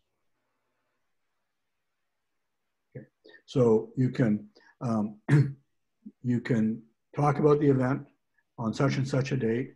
We create an email, uh, the announcement for the event a month before, and then we can take that same email, replicate it, and call it a reminder and schedule it for one week before. And then you don't even have to think about it.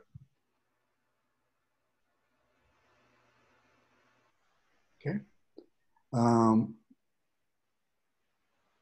so yeah, so take it take advantage of online tutorials.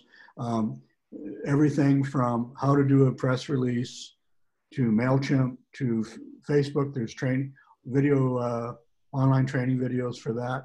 This will become a reference, this whole video I'm recording. I will email a link to you after so you can go back and watch it again if you want. Um, most of what we're covering is in the PDF that I sent. Um, does that answer your question? Your mic's off, so. I know I keep I keep being interrupted, so I keep it off, but then I forget it's off. Yeah, that's okay. We're Uh, artists, not technology. uh, blogs. One of the things about blogs is it's it's a phenomenal way to get new and fresh content, and that is the name of the game when it comes to uh, search engine optimization. Is fresh, unique, quality content. Um, as, as many as you want. One to 10 is good. If you want to do 30 a month, one every day, that's okay too. Um, make sure that every blog you do links to something else on your website. So if it's a new painting or, or something, or just back to the home page or something else, or your contact page, whatever, link it back to your website. Make sure that there's a reference to your sign up form for MailChimp in your blog. And uh, follow me on Facebook or Twitter or whatever. Something that'll uh, take you, they will take you to your social media page. and then a share button so that other people can share your blog onto social media. So you sharing your blog on social media gets your followers. If I like your blog and I share it, it gets all my followers. So all of a sudden it can become very um, exponential. So Susan, I, if I, Susan's got about a thousand plus followers on Facebook. I've got about 200. Um, so when I share something of Susan's, they're people that aren't in the arts. Um, and they're a whole different crowd of people. But uh, a lot of them tend to be realtors and um, they're, if they share it, then all their home buyers and home sellers are picking up her artwork.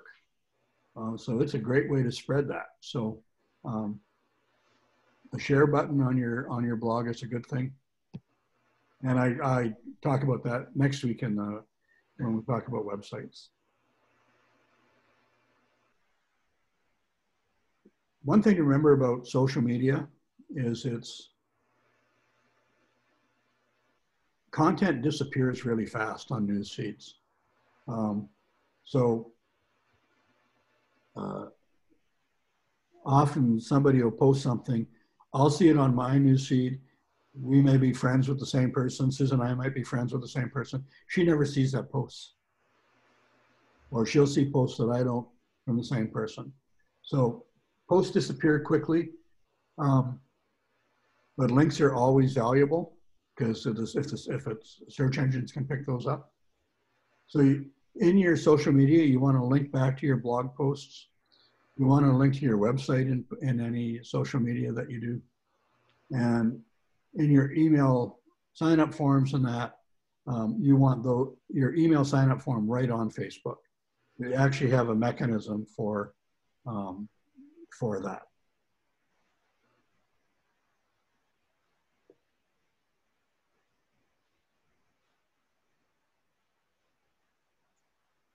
So today we covered quite a bit.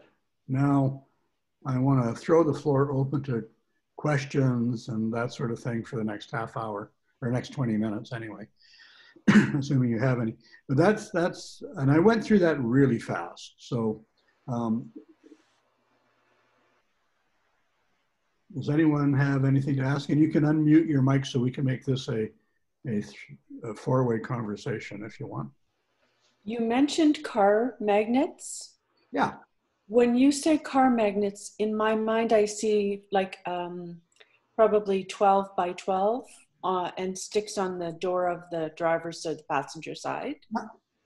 So, what, what kind of content should be on that? Your name or name of business. If like, I mean, for us, we have Island Arts Magazine, we have Young at Art, we have Susan Schaefer Fine Art, we have Young at Art Web Services. So we can have different magnets with those. So the name that you want to be known by, and I would put a QR code. Okay. Um, there, Vistaprint do that? pardon me? Can Vistaprint use the codes? Uh, no, you can go to an online uh, uh, QR QR code generator. Just search for those. Okay, and then once you get the code, you can put it into Vistaprint to include on whatever you want. Okay. But those are those little squares with a whole bunch of little dots on them. Yep. And if you shoot them with your camera, they'll so you can create different ones that can be just a URL to your web page. It could be it can have all your contact information. They they can they can be V cards. Um, so there's no amount there's no information that it can it can be a product thing. Um, so QR codes. Well, um, that makes sense because who's going to be driving by you or stop in a parking lot to break down? Yeah. The QR code. and they can have your phone number and so lots of different ways to do that um, and your website and a phone number they can be that simple but i would always try and do it if you have a website or if you don't have a website a, a phone number and a qr code um, you can do a v card qr code you can do a url um, or a product uh, qr qr code rented lips. I got to send these ones back.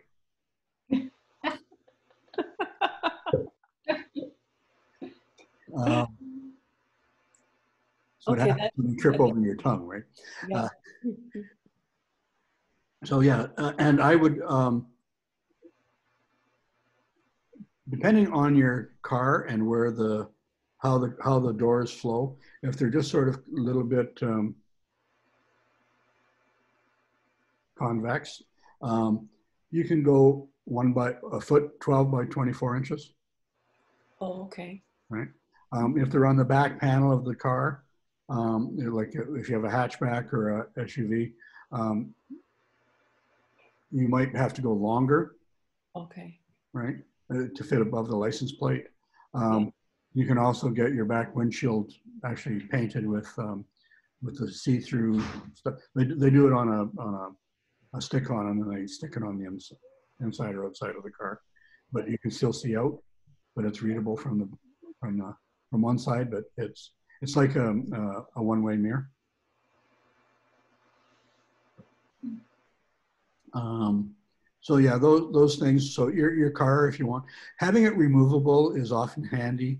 Um, if you're off to, if you're going off on a road trip, say to an art show, and you've got artwork in the car, um, you don't necessarily want to be advertising that while you're on the highway or when you stop for the night Mhm. um, because you may not have any artwork left in the morning. Um, so you can peel those off. And then when you're at the art show, you can put it on there because all your artwork's inside, um, that sort of thing. so be judicious about that. Be aware. We have a lot of um, thieves around in this. We do. So be, be aware. And that's the nice thing about the magnetic is that they are removable. Thank you. Any other questions? Kathy, Gord? Uh, yeah, um, you mentioned entering online contests for art. Yeah. You can promote them, like if you win. Um, I find when I am looking at doing contests, the majority of the ones I come across, you have to pay a fee. Yep. Enter. So do you have a list of ones that are free at all? No, just sim- simply do an online search for online art contests, free. Okay. Yeah, right? Um, yeah, no, there's, but a lot of them, the, it's not a big charge. And um, usually the artwork is published, particularly if it's going to be online voting. hmm Um, so it's a cheap form of advertising, okay, right? Um, you know, again, look at return on investment. If it's if it's under 50 bucks, um, but it's got a huge following, um, it would be worth it, hmm right? Because you can't buy. Online voting. That'd be fantastic. Yeah. Mhm. And don't forget, you can you can even do your own. I was just thinking that we'll create our own contest. okay. First, second, third prize. Oh, Susan, we have four prizes. Well, what you can do is you can put three of your own paintings up, hmm get people to vote on them, Okay, and do it as a giveaway. okay. So it's a you know so doing an online contest, not only just entering but hosting. hmm So it could be your own work. Which of my three paintings do you like the best? Right, okay. Be entered in for a draw for a eight by eight print for that original, right? Yeah, And, you know, a print might cost you what, 50 bucks, 60 bucks, yeah. right? So um, you can do that, or, or, or if you do a paper print, um, even less. hmm So with Gord, um, you do watercolors, don't you? I used to. But you're doing in the acrylics. winter. Oh, Kathy, you're doing you're doing watercolor art cards, aren't you? Yeah, Yeah. So a, a set of your cards is a great giveaway. yeah, yeah. You know, a set of six is a phenomenal gift. Mm -hmm. So, um, you know, and that, if, are you having those produced commercially or are you printing, doing your, making your own cards? Uh, commercially. Yeah. So, you know, if you're doing lots of them, they're under a buck a piece, I would think. Or another thing for you, Kathy, would be the people who purchased your uh, paintings at the corporate level could purchase thank you cards for their clients from you. Yeah, yeah. That's a good idea. And you sell them the cards, yeah. Oh, of course, yeah, Yeah. yeah. Um, Actually, they're pretty pricey in Saskatchewan. They're two dollars each. Oh, I paid five dollars per card for uh, thank you cards. You pay? Is that I, what? I paid. I bought from an artist here, thank you cards. I wanted to give to people who gave me a donation, and I paid five dollars a card. So it's Yeah. all yeah. relative. Okay, so Kathy, you're in Regina. Go Yeah. see Dale Schaefer at Western Litho Printers. Tell them that you're, that um, Susan Schaefer sent you. Okay, And uh, if you print in bulk, um, he does all our, he did all our printing and he still does the calendars okay. for Susan, right? If you look at the Island Arts Magazine, the printed copies, if you find one, printed by Western Litho in Regina. oh, okay, okay. Yeah. Good, And Dale's the owner there and, and uh, um, thank you. he'll look after you and he'll give you good pricing. Yeah, that'd be better because it's expensive. Like I'm not making much on these cards, so. if you, if you do runs, you know, larger runs still, and you can gang them up where you can do a lot of cards on one sheet, hmm and then they're cut and folded, Yeah, as opposed to single cards at a time. yeah, So he Yeah. can get large, large card stock and, and, uh, and print, you know, depending on the sheet, anywhere from two to 10 cards on one sheet, yeah, okay. you know. So That'd then be you, great. I can get him to print some prints for me too. because you're paying by the sheet, not by the card that way. Yeah, yeah, Um, and it's easy for them to cut them nice and clean and fold them for you and, and even supply envelopes inexpensively. I'm surprised actually at how quickly my card thing has grown since I started, Yeah. which is good. So yeah, Yeah. I'm happy with it. So yes, definitely I'll get a hold of him. Now, eh, the other thing, if you got lots of cards and you got a lot of samples, you'll Mhm. find that if you go into gift shop and you supply the rack, Yeah. they'll take them. Okay, And often just on consignment, just make Yeah. sure you have good inventory. Yeah, that's good. Yeah, we bought, we, we were getting ready for the Island Arts Expo one year and Susan had a lot of cards. She had created in Western Litho, printed them all. hmm So they were all done with, with offset printing, not uh, web press or laser or whatever. So they were high quality cards. And um, she said, I need to get a rack for the art show. So I started looking online and I said, well, I can get you one. They're about $350 new. Um, and it has to get shipped up from the States and it would take six weeks. And the art show was only four weeks away. hmm So we started looking for used, but the used art card, art rack, the card racks were going really, really fast. They, we'd find one and we'd phone them. Oh, sorry, it's already gone. So she said, I really need to find a card rack. So she said, let's go for a walk. So we were li- we were living living semi-rural up in Qualicum Bay, which is about half an hour north of of, um, of Parksville and we walked out the back gate through the through the uh, woods down to the road that ran in behind us. We walked 100 yards up the street, and sitting on the edge of the driveway in front of somebody's house was a full-size card rack with a sign on it going free. Wow. So we picked it up and we walked home. Well, that's amazing. Yeah. Yeah. So uh, yeah, Susan's a phenomenal manifester. She, I think she hasn't been able to manifest as the winning lottery numbers. You're still young. It's coming. Yeah, maybe tonight. Um, Well, actually, I, I have a retailer that's going to sell my cards. She wants to sell them as a draw. It's a ladies store. yep. And it's ladies I'm targeting, which is great. And so she's gonna give me, and she's not even keeping any commission or anything off of them. Good. Be great. Yeah. So Yeah. you you do have all your contact information on the back of the card. Okay. Yeah. Yeah, I do. Yeah, we saw someone who had their name on it, produced by and no contact information. So, Had no idea how to get a hold. Loved the artwork, had no idea how to find them. Did a Google search, they didn't come up. no, yeah. Um, anything else?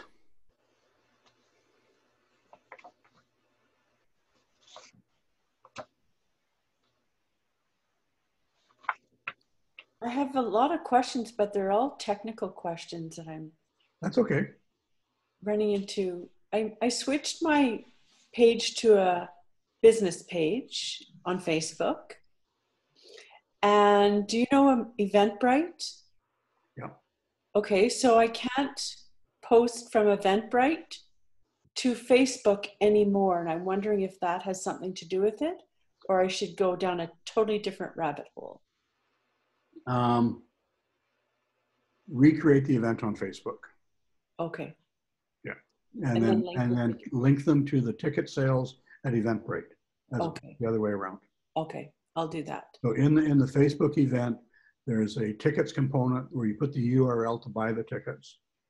And Oh, and they're just, separate. okay. And Eventbrite is only giving me the URL code. They're telling me what to do without me knowing what they're telling me.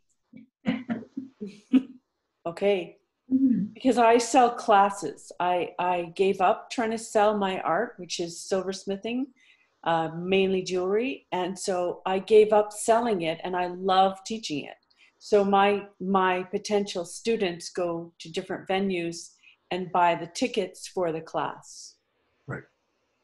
Yeah. So put the, um, if, if Eventbrite is selling the tickets for you, you put your event there, you get the link and you publish that link.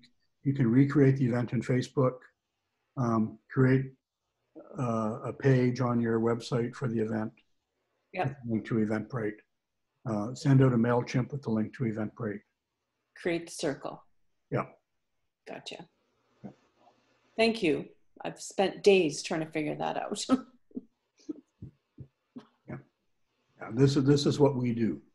Marketing is is um, is something that Susan and I have been doing all our lives, you know, in one form or another. And uh, uh, we've I was telling Gord while you guys were on break that you know you got to make a lot of mistakes to find out what works, and we have had a fair bit of success, so we know a lot of stuff that works. And we're, and we're always researching i subscribe to about 175 newsletters that cover everything from technology to marketing to um, cooking to whatever right?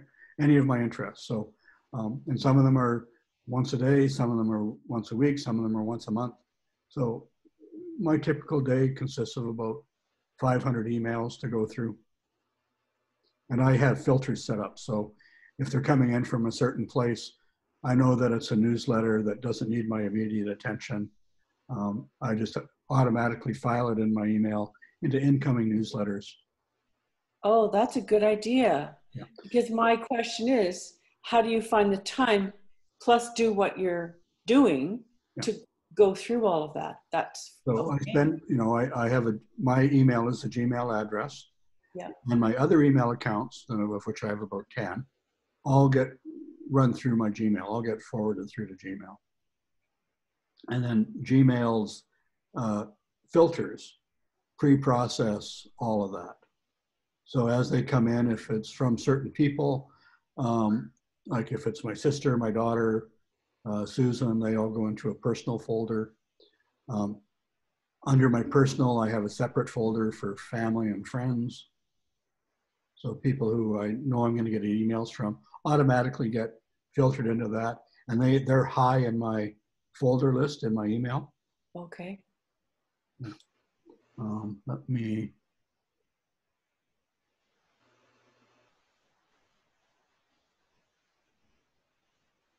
Let me just get. I'll share the screen with you in a minute. Once that. Uh,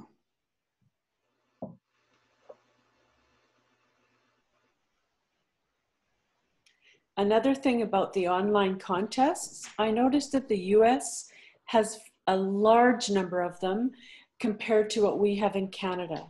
Uh, they're they're very very familiar and common in the US side opposed to Canadian. Yeah. Yeah, yeah, yeah. It'd be interesting. I, I I'm online with the Scottish um, guild people that do watercolor. It would be fun to enter one with them if they would allow it. I don't know.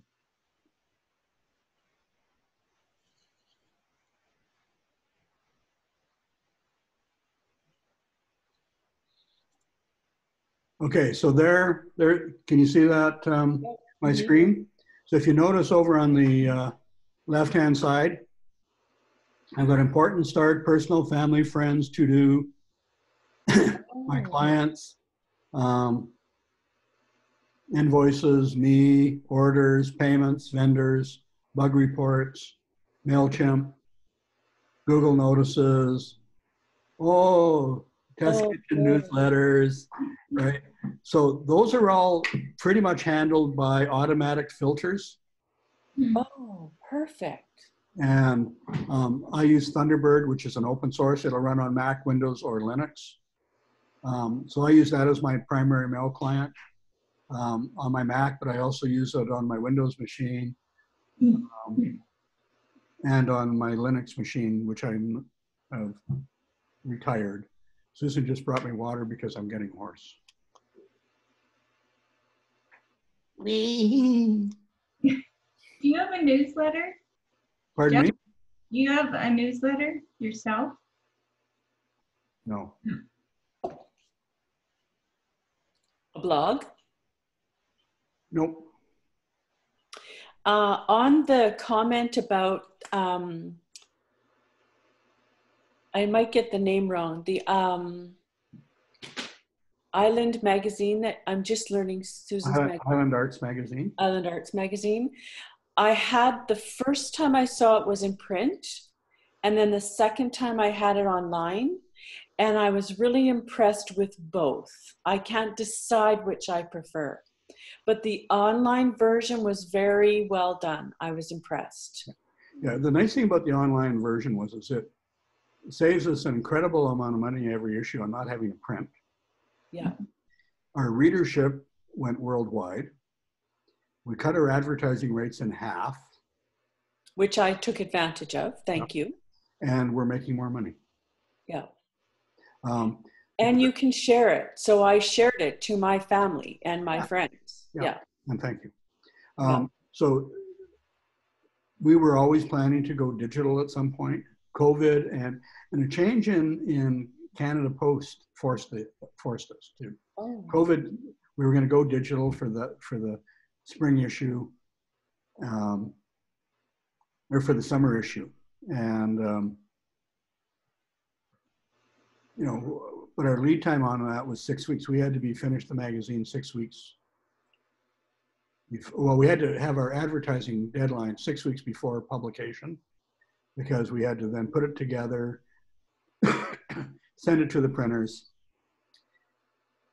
get it into their queue for printing, then they had to ship it back, and it was four days getting it back here. Mm.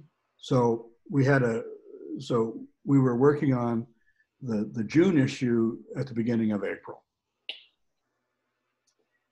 And, and then we had a week to do deliveries, and it took me a, a day, better part of two, a day and a half to do the subs- subscription mailings. Yeah. So, um, and then, you know, it took us four days to do deliveries up and down the island. And then we were mailing copies um, across Canada and into the States.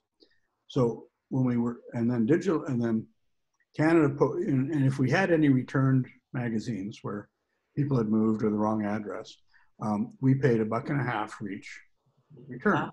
which we maybe had one a year. Canada Post didn't like that model, so they changed it. They were going to charge, and they they talked to the Publishers Association, which consists of all the big publishers, who mail out 100,000 copies every month. Mhm. They wanted a flat rate, so Canada Post set a flat rate of $200 a year for return copies. Mhm. That was more than what it would cost us to do our entire mailing. Mm. So we either had to quadruple the cost of our subscriptions from $25 a year to $100 a year, or stop subscriptions. So what we ended up doing was we decided we would go straight digital. We refunded dollar for dollar any outstanding subscriptions and advised and sent letters to everybody, sending them a check saying everything would be online. And our first publication that was fully digital was in June.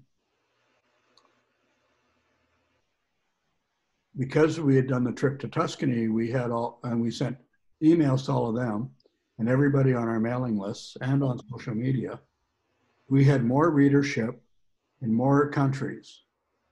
And now we're getting advertising coming from all over, where before people thought it was strictly on the island. Right. So we changed our focus from West Coast artists to Western Canada. Good idea. Yeah. So, and even that may expand to Canadian artists or worldwide artists or whatever. Uh, we did an article on a potter in, in Tuscany.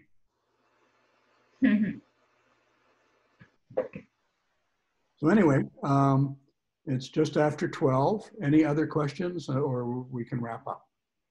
That's all I got. Yeah. Well, and some feedback. I, I wasn't sure what to expect. And um, I'm really impressed what I received. And um, thank you. Thank you for doing that because I know the work that's involved in a presentation. So I really appreciate your extra. Yeah, thanks, Jeff. Great. I want to wish everybody good luck. As follow up, if you you have my phone number, you have my email. If you get stuck on anything, do not hesitate to call. I do not charge for talking other than on courses.